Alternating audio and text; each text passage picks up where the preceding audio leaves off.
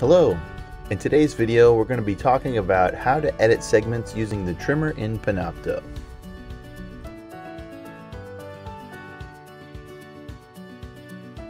Once you find the video you would like to edit, hover over that video and then you're going to want to click on the edit button. On the editing screen you can see your timeline, here highlighted in red. Click and drag the areas you would like to trim.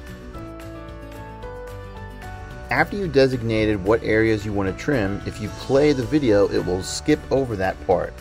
Post your lecture via Canvas or you can email it to your students and or other people. So let's uh, weird cell.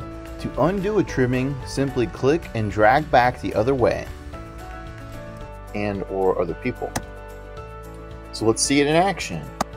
And don't forget to always apply changes after you've made your editing.